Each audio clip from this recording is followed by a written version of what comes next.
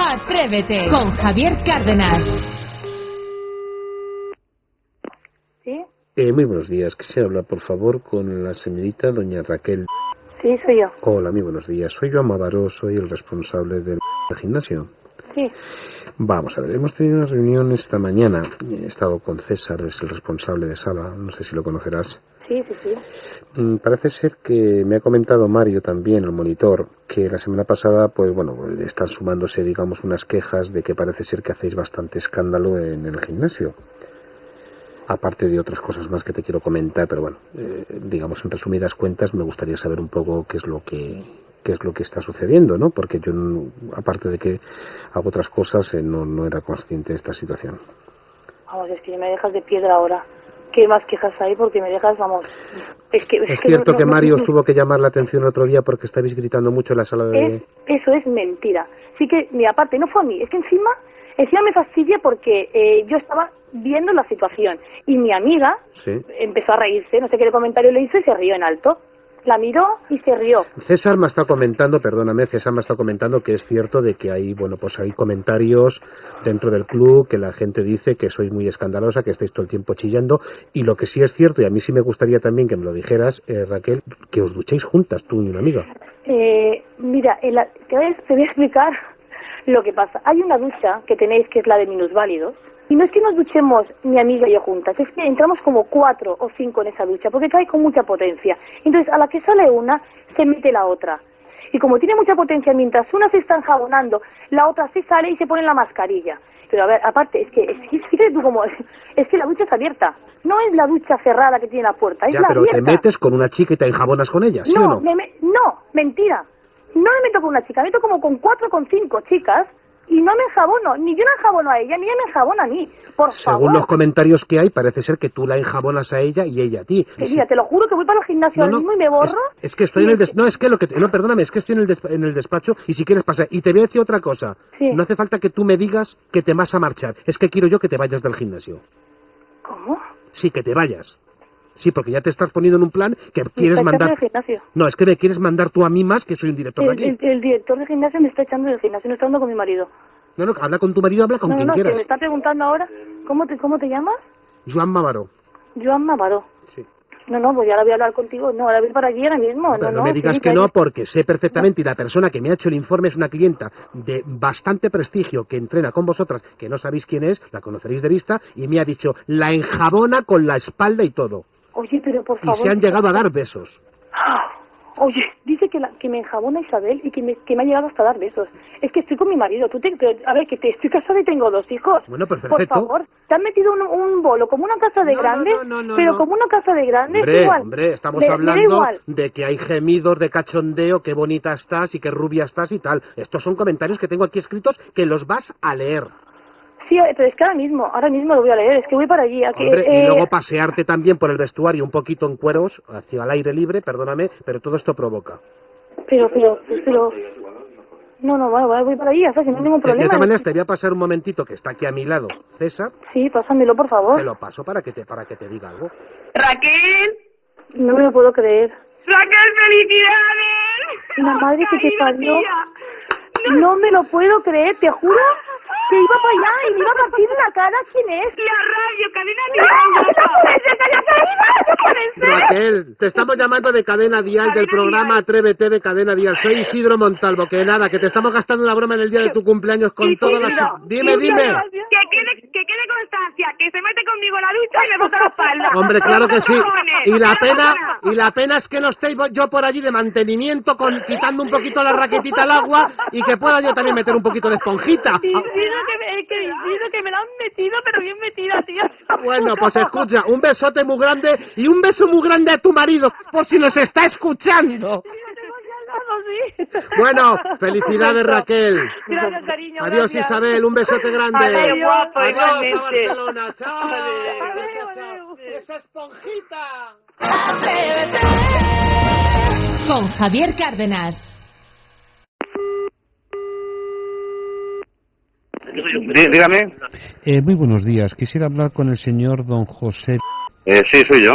Pues muy buenos días. Mire, soy el sobrino del señor don Juan Antonio. Parece ser que tiene un tractor. en el taller de ustedes y lleva un tiempo bueno, informándome de que hay problemas en referentes a este tractor. ¿Quién, quién- quién me ha dicho que es usted? Yo soy su sobrino. Ah, su sobrino. Sí, me voy a presentar. Mi nombre es Pascual Sánchez y soy su sobrino. Entonces, bueno, me ha llamado un poco preocupado porque parece ser que usted no le está haciendo mucho caso a mi tío. Y bueno, pues simplemente, bueno, pues a ver si usted me puede dar una versión diferente a la que me está contando mi tío o por supuesto es una versión real. Bueno, pues eh, yo lo que le puedo comentar es eh, a este buen hombre, pues eh, le vendió el tractor, se le dio su garantía correspondiente, que le dura hasta el mes de enero. Los problemas que ha tenido se le han solucionado y ahora tiene una serie de cosas que hay que hacerle. Entonces, el tractor eh, lo llevó en el mes de octubre y quedamos en que eh, se le arreglaría a lo largo del mes de octubre. Este hombre, desde al día siguiente de llevar el tractor, ya nervioso y desesperado, que cuando me vais a arreglar el tractor, que es que no me lo vais a arreglar, ya me tuve que enfadar con él. Ya, bueno, yo simplemente le voy a decir una cosa, señor don José. Yo espero que usted sea profesional y que usted haga sus deberes como yo los hago en mi trabajo. Y si me otro- está empezando, mire usted, yo con usted no tengo nada que hablar porque no le conozco. Eso para empezar. Usted se presenta como sobrino, yo no le conozco. Y, y no le voy a consentir ni por un minuto que usted me empiece a insultar en mi profesionalidad. ¿Eh? me va a disculpar porque en ningún momento creo que he tenido ningún mal comportamiento con usted al hablar, pero Sí, me está diciendo que- yo estoy demostrando que no soy un profesional. Eh, no, pero permítame usted que se lo diga. Usted no es profesional y me lo está usted demostrando. Pero en segundo lugar le voy a decir otra cosa y se la digo muy clara. Mire usted, qué pena que no pueda eh, en estos momentos, por supuesto, estas cosas podérselas decir a usted personalmente, ¿no? Porque veo que tiene que ser usted un poquito maleducado. Me está dando.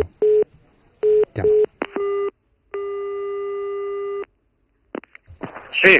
Le pediría, por favor, que no me colga. Señor, señor, señor Don Pascual, Sí. cuando usted quiera hablar conmigo, visíteme usted y hablamos personalmente. Bueno, disculpe- hemos- hemos No, discúlpeme un segundo, no sea usted cobarde, no- no sea us- No, no, no le disculpo. Usted es un cobarde, que me cuelga el no. teléfono. Usted es un cobarde. Bueno, pues eh, Perdóneme. Usted, como es muy, usted como es muy valiente, No. pásese por algo y hable conmigo. Escuche un momentito. Usted tiene que comprender que mi familiar... Llama otra vez. Dígame. No me vuelva a colgar el teléfono porque me está entrando una mala hostia que no se puede usted ni imaginar. Ah, pues yo estoy muy contento. Sí, pues usted esté contento lo que quiera. Nada más que le voy a decir una cosa.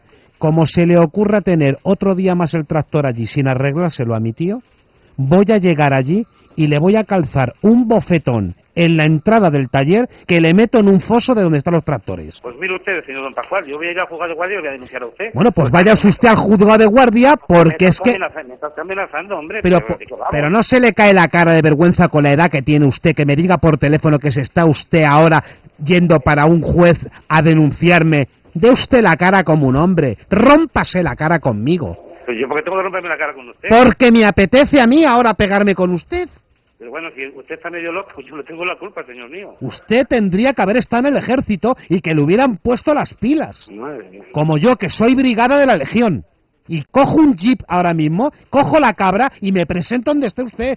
Y le meto yo y le mete la cabra. Si estoy loco. No, no, pues claro, no lo creo. ¡Viva la Legión!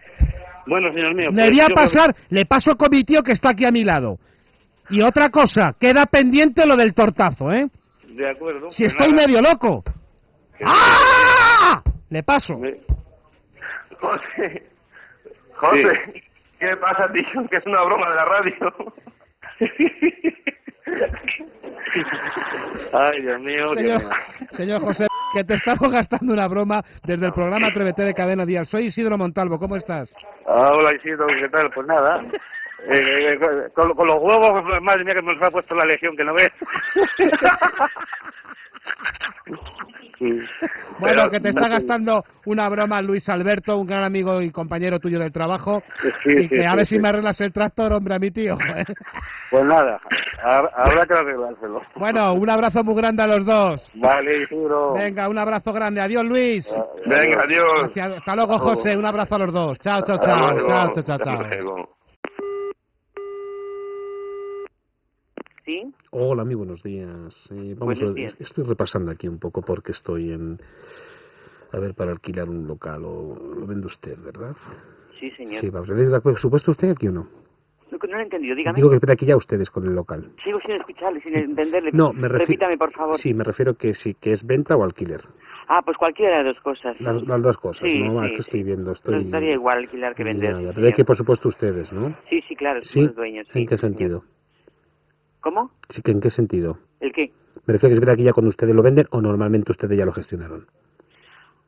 Es que sigo sin entender lo que me está diciendo. ¿Será que yo no entiendo o usted no me explica bien? No, me refiero que una vez que se pone a ven- que, que alquila o vende, es decir, que digamos Sí. que cualquiera de las dos opciones vale, digo que Sí. es verdad que ya cuando usted lo vendía o normalmente ustedes ya lo notaron.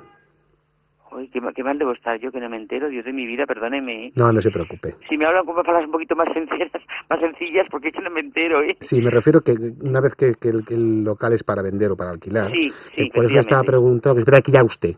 ¿Que aquí se lo alquilo? No, que verdad que ya usted.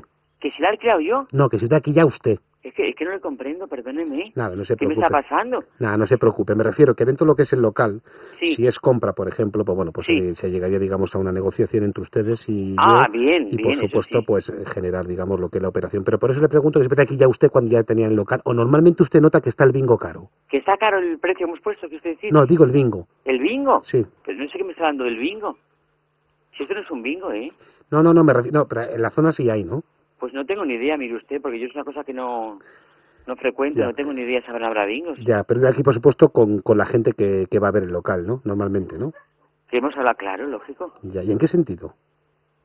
Joder, mire, me está usted dejando de verdad, que, que no sé qué me está pasando, ¿eh? O usted no me explica con claridad, yo no me entero, pero para nada lo que me quiere estar No, diciendo. no, no se preocupe. Pero por favor. no, es que estamos ya llegando a la cena. Me estoy preocupando. Usted dame unas palabras muy técnicas que yo no puedo entenderlas. Hable más sencillo, por favor. No, me Sí. refiero que dentro de que para visitarlo, por ejemplo, que quedaría Para con usted. visitarlo, así sencillamente, porque Vale. nos están pintando un Ya, almacén ya. y estamos aquí en el local. Pero de aquí, por supuesto, con la gente que va a verlo, o normalmente usted gestiona creativamente, digamos, un apartado interior dentro de lo que es la venta como local. Yo lo estoy gestionando a través del periódico Pero con, y con una creación independiente que pueda estar justificada como base 4, ¿no? pues sigo sin entenderle. Esos, esos, esos términos yo no los No, comprendo. no me refiero que es que si da aquí tú. ¿Que si da? No, que si da aquí tú con el local. Pues perdóneme, venga usted mejor personalmente y nos entendemos mejor porque yo por teléfono no le entiendo nada, pero nada. es que no le entiendo nada, o sea que... es que es usted, es usted muy graciosa, se lo digo, ¿verdad? No, no, graciosa, no soy muy torpe según lo estoy me No, cuenta no. porque no le entiendo nada, o sea que, que es que nunca me ha ocurrido una cosa tan Sí. tan exagerada, tan, No, tan extremista que no me entero de nada. Lo que le estaba preguntando es que si da aquí tú con, con el local. Que si doy actitud, No, que si da aquí tú con el local. ¿Da aquí tú? actitud, pues sigo sin entender esa palabra, no sé qué significado No, me refiero que da aquí tú ya cuando ustedes ya lo venden o normalmente ustedes gestionan porque tienen propiedades. Con una Es creación. propiedad, es propiedad nuestra, Correcto, pues yo digo, es que ya cuando Sí, usted ya lo vendía o normalmente ustedes notaban que, que la venta se iba a hacer igual.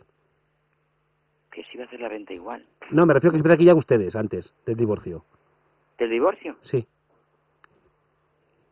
Pues no, no se me está hablando del divorcio, pues yo no estoy divorciada, señor, estoy casada. ¿Da aquí tú o no? ¿Está aquí tú? Sí. Mire, perdóneme, pero ya no puedo continuar, verdad, me estoy poniendo muy nerviosa, Sí. discúlpeme. ¿eh? Venga, pues luego la llamo, ¿de acuerdo? cuando quiera y ya está, Muy vale, amable de de todas maneras, ¿eh? Vale, Gracias, nada. un feliz día. Adiós, adiós, adiós. Adiós.